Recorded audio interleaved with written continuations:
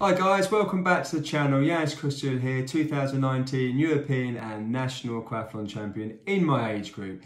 And if you're new to the channel, please like and subscribe. Thank you very much. So on to what I'm going to discuss today. Today I will be discussing my go-to sessions which would help you with your PBs in running.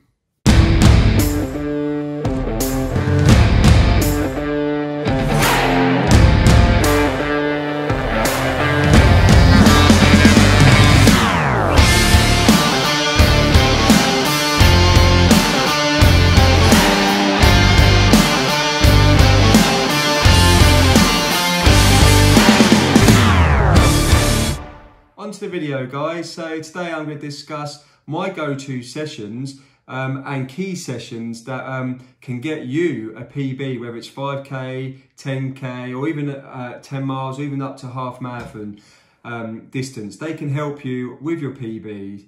So I'm just going to go through some key sessions that I do and ones that I love and um, the benefits for you and the purpose.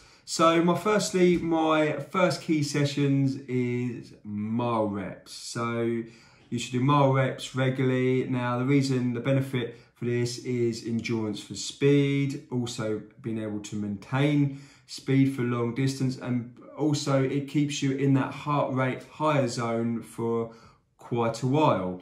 So mile reps, um, you can have any sort of structure. So it could be like a one mile warm up and then you can have um, two three mile reps um, as a normal session. Now with the sessions, um, with the well with the recovery, you can have three minutes recovery or even five minutes recovery per rep in between and then target the reps, um, the mile reps.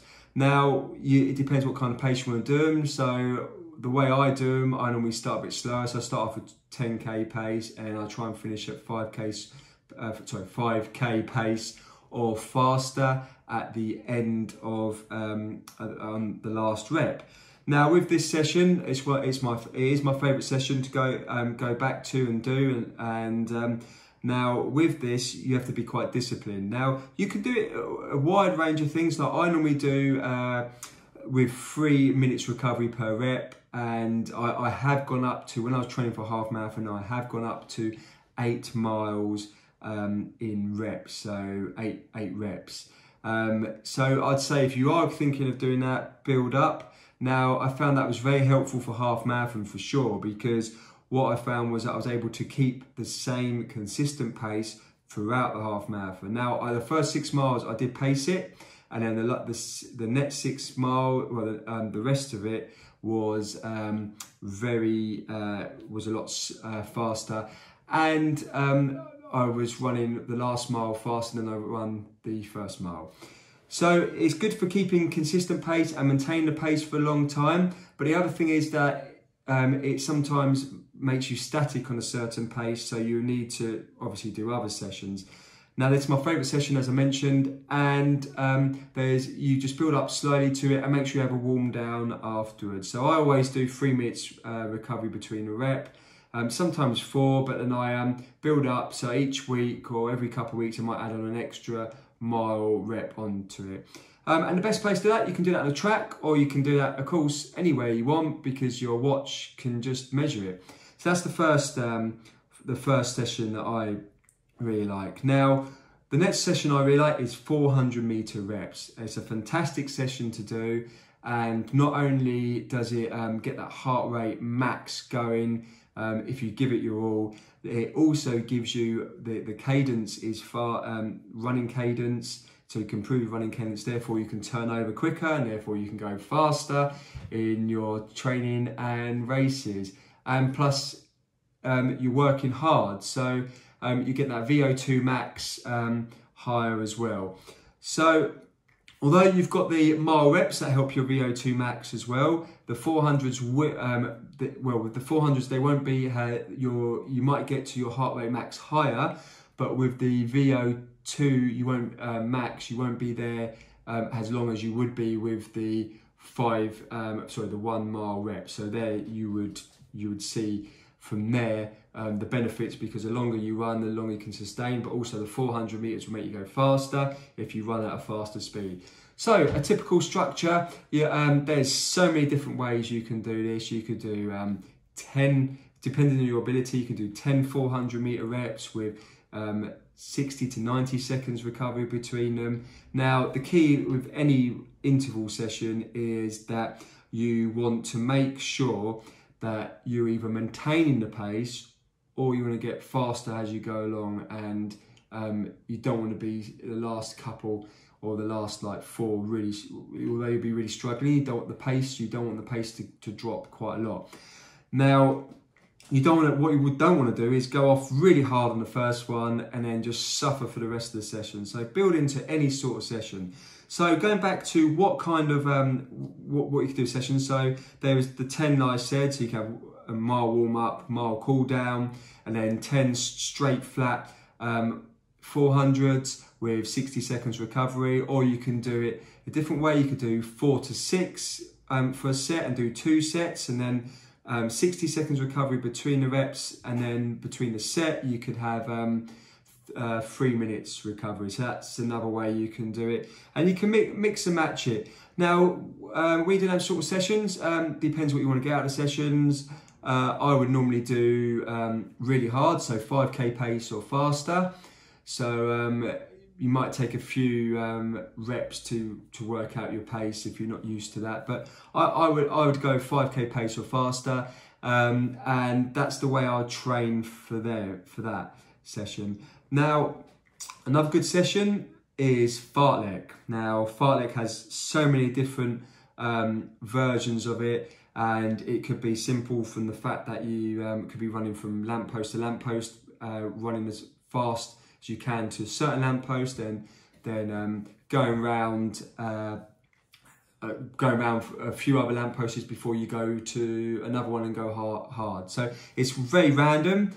It um, sometimes it's not meant to have a structure, but sometimes you do have a structure a little bit. And it's um, I think it, I believe it comes from Sweden, and it's basically called for speed play. Um, that's what it's called.